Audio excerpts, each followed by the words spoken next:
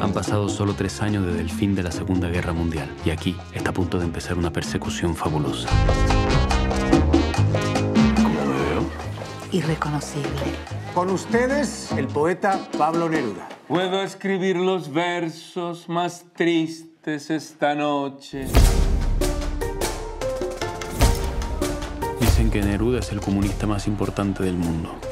Se metía la mano al bolsillo, sacaba un papelito, 10.000 proletarios se quedaban callados para escucharlo, entrar, recitaba poesía.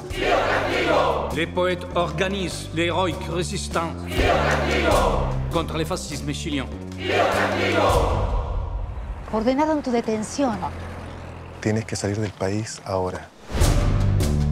Aquí entro yo, el sagaz comisario Pelusionó, lleno de vida. Muy buenas tardes, señor presidente. ¿Conoce usted a Neruda? No, no, yo, yo no. Sí, sí, señor. Atrápelo y humíllelo. Policía. ¿Dónde está ese comunista de mierda? ¿Quieres que te encuentren? No, pero yo no me voy a esconder debajo de la cama.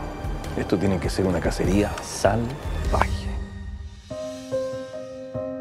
En esta ficción todos giramos alrededor del protagonista. Un principal y un secundario.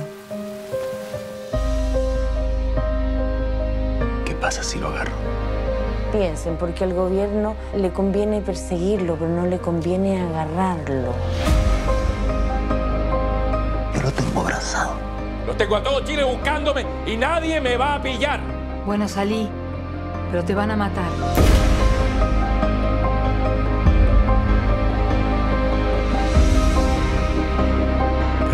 Secundario?